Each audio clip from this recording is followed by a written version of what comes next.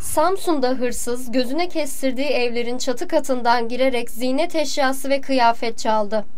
O anlar güvenlik kameralarına yansıdı.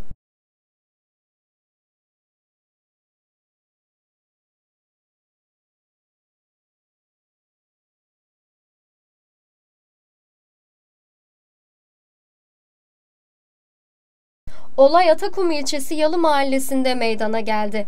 Edinilen bilgiye göre 3 evi gözüne kestiren hırsız sırasıyla evlere girmeye başladı. Girmeye başladığı evlerden sırasıyla 7 gram altın, 2 pırlanta yüzük ve çok sayıda kıyafet çalan hırsız kaçarken yakayı ele verdi. Evlerden aldığı eşyalarla plakasız motosikletiyle kaçan hırsız giderken eşyaları koyduğu çantalardan birini düşürdü. Çantayı almak için geri dönen hırsız polis ekiplerince yakalandı. Evin balkonunda yatıyorum gece. Ee, sabah güneşte vurdu, güneşleniyordum.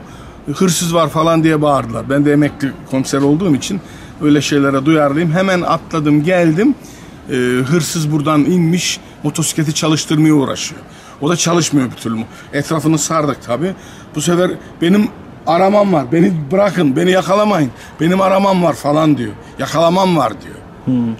Ondan sonra arkadaşlar birinin üzerine yürüdü falan. Ne olduğunu anlayana kadar kaçtı. O ara polis çağırmıştık.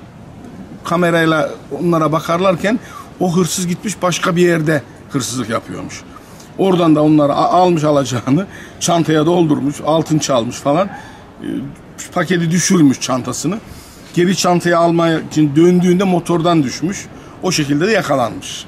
Güvenlik kamerasında aynı hırsızın bu sefer yanındaki bir kişiyle 22 Ağustos tarihinde televizyon çaldığı görüntüler kameraya yansıdı.